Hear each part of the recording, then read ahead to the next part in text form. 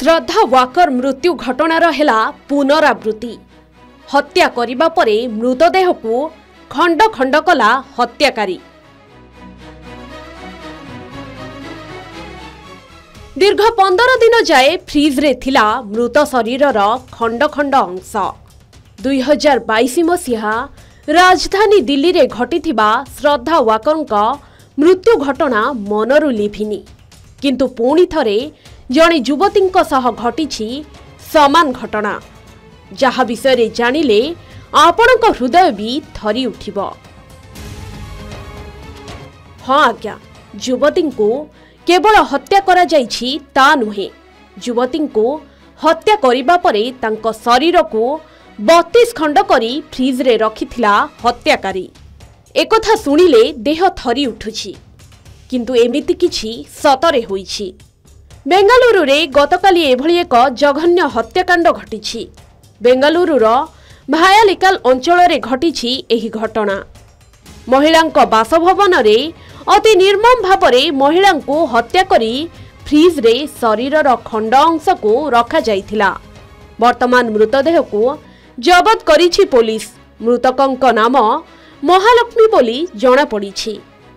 ହତ୍ୟାକାରୀ ପ୍ରଥମେ ମହିଳାଙ୍କ ଶରୀରକୁ ପ୍ରାୟ କୋଡ଼ିଏରୁ ଚାଳିଶ ଖଣ୍ଡ କରିଥିଲା। ପରେ ଏକ ଶହେ ପଞ୍ଚଷଠି ଲିଟର ଫ୍ରିଜ୍ରେ ମୃତଦେହକୁ ରଖାଯାଇଥିଲା ବୋଲି ପୋଲିସ ସୂଚନା ଦେଇଛି। ପନ୍ଦର ଦିନ ପୂର୍ବରୁ ମହାଲକ୍ଷ୍ମୀଙ୍କୁ ହତ୍ୟା କରାଯାଇଥିବା ସନ୍ଦେହ କରାଯାଉଛି। ଚଳିତ ବର୍ଷ ସେପ୍ଟେମ୍ବର ଦୁଇରୁ ତାଙ୍କ ଫୋନ୍ ବନ୍ଦ ହୋଇଯାଇଥିଲା।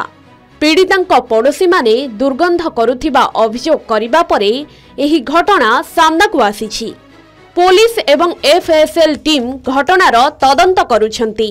ବର୍ତ୍ତମାନ ପର୍ଯ୍ୟନ୍ତ ଏହି ହତ୍ୟା ପଛର ଉଦ୍ଦେଶ୍ୟ କିମ୍ବା କୌଣସି ସନ୍ଦିଗ୍ଧ ବ୍ୟକ୍ତିଙ୍କ ବିଷୟରେ ସୂଚନା ମିଳିନାହିଁ। ମହିଳା ଜଣକ ନେପାଳୀ ବୋଲି ପୋଲିସ କହିଛି। ମୁନେଶ୍ୱର ନଗର ଅଞ୍ଚଳରେ ଘରର ପ୍ରଥମ ମହଲାରେ ରହୁଥିଲେ ମହାଲକ୍ଷ୍ମୀ। ପୋଲିସର ସୂଚନା ଅନୁସାରେ ମହିଳା ଜଣକ ବିବାହିତ ଥିଲେ। ବ୍ୟକ୍ତିଗତ କାରଣରୁ ସେ ସ୍ୱାମୀ ହୁକୁମ ସିଂ ରାଣାଙ୍କଠାରୁ ଅଲଗା ହୋଇ ଭଡ଼ା ଘରେ ରହୁଥିଲେ। ତାଙ୍କର ସନ୍ତାନ ମଧ୍ୟ ଅଛନ୍ତି। ପୋଲିସ କମିଶନର ସତୀଶ କୁମାର ଏହି ଘଟଣା ସମ୍ପର୍କରେ ଗଣମାଧ୍ୟମକୁ ସୂଚନା ଦେଇଛନ୍ତି। ତେବେ ଫ୍ରିଜ୍ରେ ରଖାଯାଇଥିବା ମହିଳାଙ୍କ ମୃତଦେହର ଖଣ୍ଡ ବିଖଣ୍ଡିତ ଅଂଶକୁ ପୋଲିସ ଜବତ କରିଛି। ଉକ୍ତ ଖଣ୍ଡ ଅଂଶଗୁଡ଼ିକରୁ ଦୁର୍ଗନ୍ଧ ବାହାରୁଥିଲା। ଗନ୍ଧରୁ ରକ୍ଷା ପାଇବା ପାଇଁ ହତ୍ୟାକାରୀ ସେଥିରେ ରାସାୟନିକ ପଦାର୍ଥ ମଧ୍ୟ ସ୍ପ୍ରେ କରିଥିଲା ମହିଳାଙ୍କୁ ହତ୍ୟା କରିବା ପରେ ଅଭିଯୁକ୍ତ ଘର ବାହାରେ ତାଲା ପକାଇ ଫେରାର ହୋଇଯାଇଥିଲା। ବର୍ତ୍ତମାନ ପୋଲିସ ଘଟଣାର ତଦନ୍ତ କରୁଛି। କହି ରଖିବାକୁ ଚାହିଁବ କି ଦୁଇହଜାର ବାଇଶ ମସିହାରେ ଦିଲ୍ଲୀର ମେହେରୁଲିରେ ଶ୍ରଦ୍ଧା ୱାକନ ନାମକ ଜଣେ ଯୁବତୀଙ୍କୁ ହତ୍ୟା କରାଯାଇଥିଲା। ତାଙ୍କ ଶରୀରକୁ ଛତିଶ ଖଣ୍ଡ କରି ଜଙ୍ଗଲରେ ଫୋପାଡ଼ି ଦେଇଥିଲା ଅଭିଯୁକ୍ତ। ଶ୍ରଦ୍ଧା ୱାକରଙ୍କ ହତ୍ୟା ମାମଲାରେ ଅଭିଯୁକ୍ତ ଅଫତାବ ପୁନାୱାଲା ବର୍ତ୍ତମାନ ଦିଲ୍ଲୀର ତିହାର ଜେଲ୍ରେ ବନ୍ଦୀ ହୋଇ ରହିଛି। ଶ୍ରଦ୍ଧାଙ୍କ ବାପାଙ୍କ ଅଭିଯୋଗ ପରେ ପୋଲିସ ଅଭିଯୁକ୍ତ ଅଫତାବକୁ ଗିରଫ କରିଥିଲା। ବେଙ୍ଗାଲୁରୁରୁ ଗୋବିନ୍ଦଙ୍କ ରିପୋର୍ଟ କେ ନ୍ୟୁଜ୍ ଓଡ଼ିଶା।